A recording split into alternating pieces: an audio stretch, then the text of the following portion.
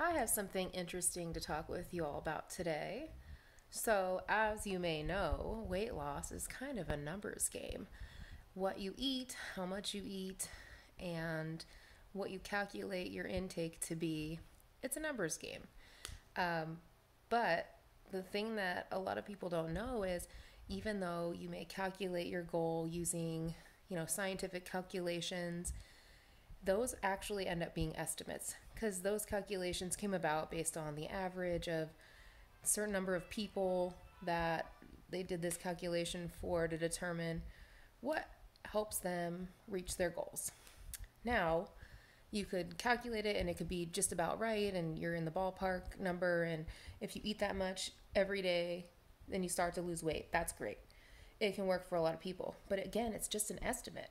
So you have to be prepared to modify your intake make adjustments small adjustments 100 or 200 calories here or there um, but again it's one of those things there's no exact science to the amount of food that you need. Okay, so everybody's body's different. You have to, you know, work with what you have with the calculation that you use. If you were determined, say you need 1500 calories and you eat that every day for, you know, a few weeks, and say you're not losing weight, well, then you need to either be eating more or less. You need to work on making the adjustment needed. And the interesting thing is, there's people out there that do basal metabolic testing where they have you like breathe into a mask and it's supposed to analyze your breath and determine what your metabolic rate is and give you some more precise information. However, I called a guy that did that for a living and he told me it ends up being just an estimate, it's not an exact science. So, again, what's the point of going through all that where you have to like fast for 12 hours?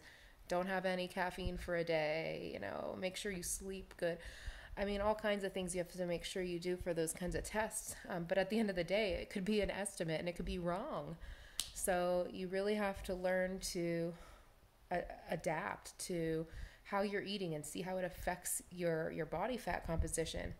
Do you need to cut your portions, change the types of foods you're eating? I mean, all kinds of things go into play here maybe it's the amount of exercise you're getting is inconsistent um, and so you need to change your your food intake based on that so now that i told you that i bet you're wondering well now how much do i eat? Well just a little tip. Start by having your meals about the size of your fist. And you know eat uh, every few hours have four to six meals a day. See how it does for you